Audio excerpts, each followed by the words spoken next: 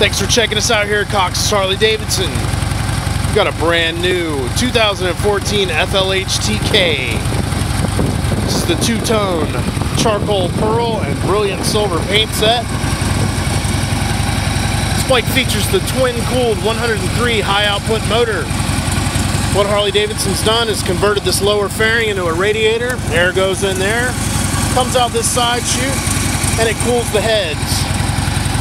That's mated with a six-speed cruise drive transmission. Got the huge back seat. It's an inch wider and deeper than ever before. Thanks to Project Rushmore, bags open and close with one hand.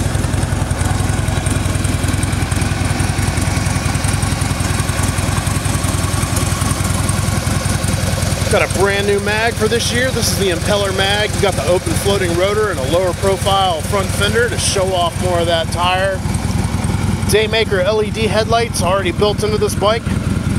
And the Batwing fairing got its first facelift in over 20 years with the split stream air vent. What that does is equalizes the pressure between the front and the rear of the fairing, resulting in less head buffeting. Gives you a smoother ride. Got the painted inner fairing, and check it out, you got the Boombox 6.5 infotainment system, built-in navigation, built-in satellite radio. Pair that up with the jukebox. You can store your favorite device in there, plug it in, keep it charged. Use the new thumb joysticks to navigate through. Move the cruise control over to the left-hand side, freeing up that throttle hand keeping it within the ergonomic mantra of Project Rushmore. We've redesigned the tour pack. It's got a sleeker, lower profile look, more LEDs.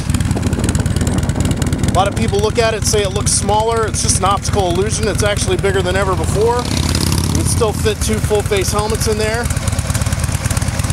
Got the ABS linked braking system on this motorcycle and so much more. Come on down, check one out today. Take one for a demo ride. You might just fall in love right here at Cox's Harley Davidson, where every day is demo day.